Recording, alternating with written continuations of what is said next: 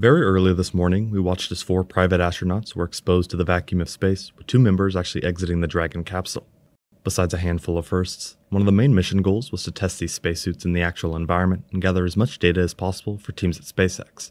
This combined with the process of depressurizing the Dragon capsule, among other milestones, made for a successful and eventful EVA. Here I'll go more in depth into preparing Dragon for the hatch opening, the spacewalk itself, what's next, and more.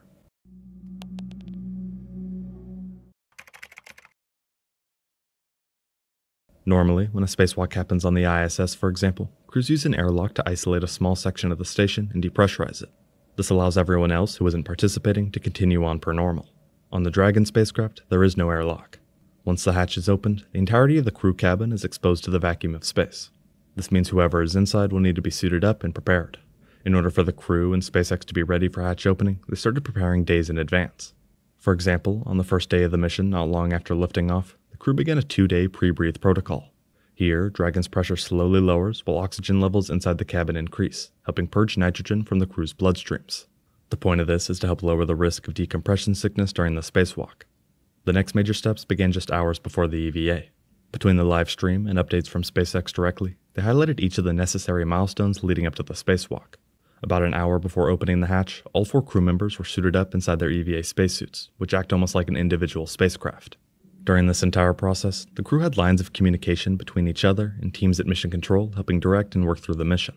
Not long after suiting up, the secondary flow of oxygen was confirmed to be underway, which primarily provides cooling to the suits throughout the spacewalk. With that complete, the suits were then switched to their primary flow path, which they used to fully pressurize ahead of suit leak checks. SpaceX then confirmed that the suit leak checks were complete and that the final pre breathe was underway to help purge all remaining nitrogen from the crew's bodies. At that point, Dragon's cabin was at 8 psi as pressure lowered ahead of the hatch opening. At around 8 psi, they still needed to lower the pressure, so they began venting from Dragon for around 10 minutes. 21 minutes into the EVA operation, and the psi had gone down to 4. Eventually, Dragon's cabin was below 1 psi, and the spacecraft repositioned its trunk to face the sun ahead of the EVA. Finally, the hatch was opened, marking the first time four humans were simultaneously exposed to the vacuum of space. Soon after, Isaacman was the first to exit the vehicle using what SpaceX calls Skywalker, which are the additional bars for control and holding on to. Over the next 20 minutes, he conducted a few mobility tests before going back inside. Next, Sarah Gillis made her way outside the spacecraft. At 30 years old, she is now the youngest human to complete a spacewalk. Similar to Isaacman, she also spent the time testing suit mobility and general operations. SpaceX clarified that there were three main suit mobility tests meant to test overall hand body control, vertical movement with Skywalker, and foot restraint. Specifically, they were quoted saying, the first test focuses on using a single hand to control body movement.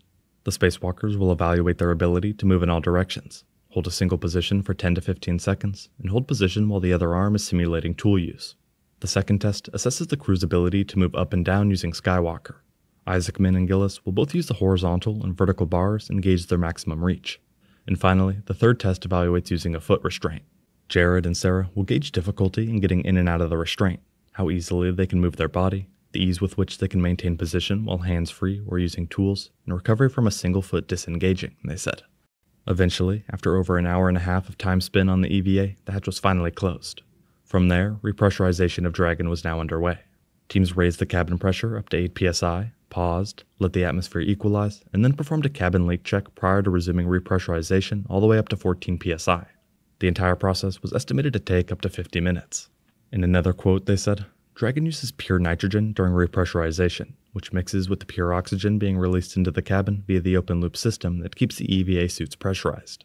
This process is unique to Dragon, which acts as its own airlock. They then finally confirmed that Dragon's cabin pressure was now 14.6 psi and the nitrox washout was complete.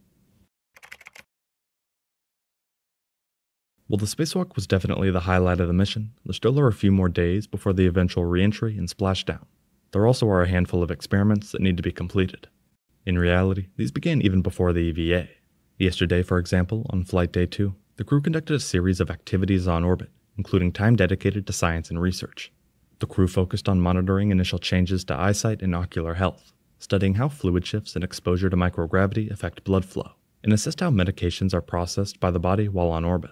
Tomorrow, on the fourth day, they plan to complete a Starlink demonstration, Specifically, the Polaris Dawn crew is mentioned transmitting a message down to Earth using SpaceX's constellation of internet satellites. They'll be the first crew to test Starlink laser based communications in space, which SpaceX believes will provide valuable data for future space communication systems. On day 5, the crew will be busy preparing for the journey back home and eventual landing. This leads us to day 6, where they're set to return to Earth. That will include deorbit burns, Earth reentry, and eventually a splashdown off the coast of Florida. The mission did experience quite a few weather delays leading up to launch, but they eventually found a clearing for both the launch and landing timeframe. Over the next few days, we should expect more updates from the crew as they get closer to this final mission milestone. With the EVA complete, SpaceX now has much more information on the performance of their new suits. While it seems they performed very well, the company will now likely talk to the crew and figure out what areas they like and what changes they could make. SpaceX will definitely be upgrading this technology over time to make it even more comfortable and usable. EVA spacesuits are complex, and the nature of their design limits mobility among other general motor functions. The more data and experience the company gets, the more fine tuned the design will get as well. At the end of the day, these suits were upgraded from the current intravehicular or IVA suit. In a statement, the company said, evolved from the IVA suit, the EVA suit looks similar but provides greater mobility, a state of the art helmet heads up display and camera, new thermal management textiles, materials borrowed from Falcon's interstage and Dragon's trunk. SpaceX points out that all of these enhancements to the EVA suit are part of a scalable design, allowing teams to produce and scale to different body types as SpaceX seeks to create greater accessibility to space for all of humanity.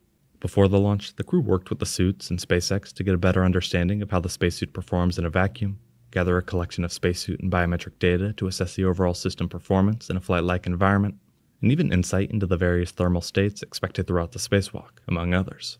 SpaceX is quoted saying, Building a base on the moon and a city on Mars will require millions of spacesuits. The development of this suit and the execution of the spacewalk will be important steps toward a scalable design for spacesuits on future long duration missions as life becomes multiplanetary, they said. It's clear they have some ambitious plans for the future. Only a few days ago, Musk tweeted saying, The first starships to Mars will launch in two years when the next Earth Mars transfer window opens. These will be uncrewed to test the reliability of landing intact on Mars.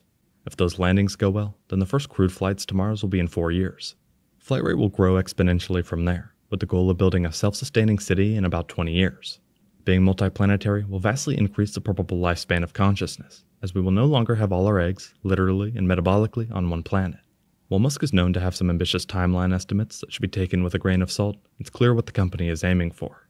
They believe these suits and the first commercial spacewalk are some of the first steps toward this future. Earlier this morning, on Flight Day 3, the four crew members of the Polaris Dawn mission were exposed to the vacuum of space after opening the hatch. Here, Isaac Isaacman and Gillis made their way outside the vehicle separately to conduct a handful of tests. In the future, we can likely expect more missions like these as SpaceX works to continue upgrading the technology. We will have to wait and see how it progresses and the impact it has on the space industry. Thank you very much for watching.